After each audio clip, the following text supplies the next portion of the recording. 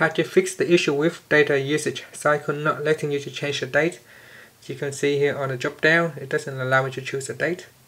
What you need to do is make sure you first enable mobile data then tap on that set on set mobile data limit and tap on the drop down so it's still nothing shows. Try to move this uh, bar here a little bit then tap back on that.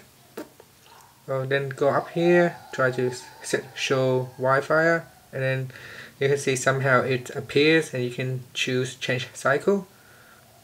So we can now uh, tap on data usage cycle and tap on change cycle. Let's say your phone bill starts every month on the 20th then tap on set and it will go from the 20th of each month. So that's how you can uh, get your data usage cycle to shows the change cycle date. Thanks for watching this video